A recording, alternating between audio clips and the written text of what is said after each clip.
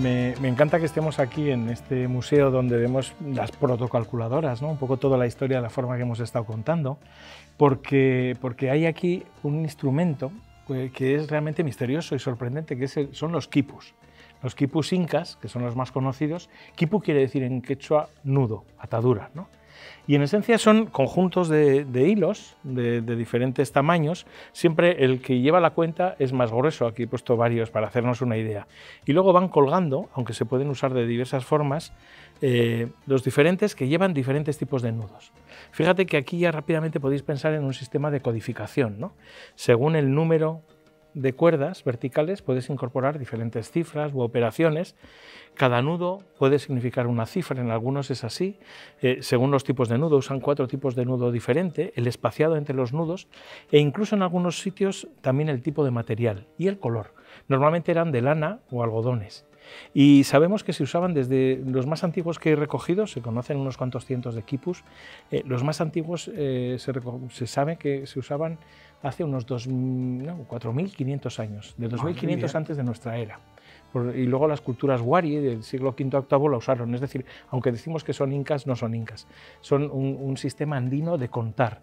Y no solo eso. Es decir, y este es lo, más bonito de, esta historia que entronca, entronca un poco con lo que a mí me gusta, que es que esto también servía de instrumento de medida astronómica, sobre todo de guardar registros de algunos fenómenos celestes la cosmogonía, la observación del cielo en, las culturas andinas fue muy importante siempre. ¿no? Eh, ellos veneraban o, contaban por dónde se movía la Vía Láctea, que para ellos era el reflejo, los mayus, el reflejo de los, del río Vilcanota, del Urubamba, del centro del imperio inca, que se reflejaba en el cielo. ¿no?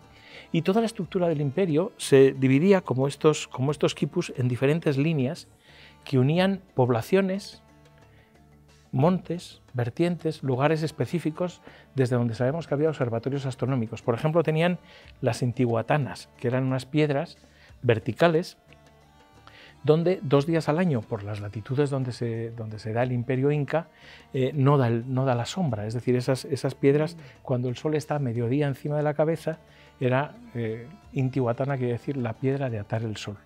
Inti era el dios del sol, que era el centro del imperio. Qué bonito nombre. Fijaros toda una eh, ordenación del territorio, una ordenación de la forma de contar, una ordenación de los edictos, porque en estos quipus también se llevaban textos, se codificaban textos y se llevaban las órdenes que emanaban del Inca desde Cuzco a todos los eh, rincones del Tihuantinsuyo, del imperio inca, ¿no? de los, tanto al norte, más al norte de Ecuador, como al sur en Chile, donde, todos seguían las reglas de este gran imperio que además fue astrónomo y matemático.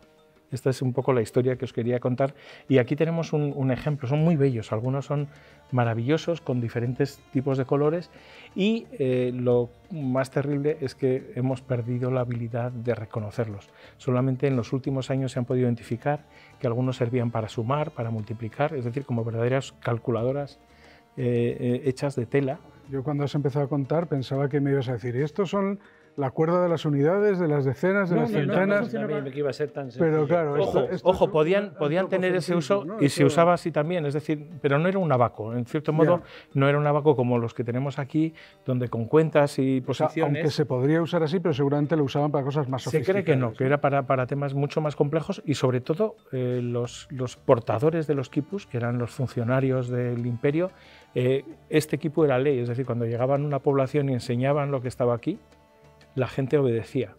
Lo que no sé si entendían qué es lo que estaba puesto. Yo no, o sea que yo voy con esto y digo, os conmino a que acabemos ya, porque esta cosa... Pues yo creo que en este caso vamos a obedecer. Pues no es mala eh, idea. Yo creo ¿eh? que no es mala idea, así que... Pues nada, nos, damos por combinados. pues perfectamente. Nos vemos dentro de un rato. Toma, te voy a regalar un equipo. Muchas gracias.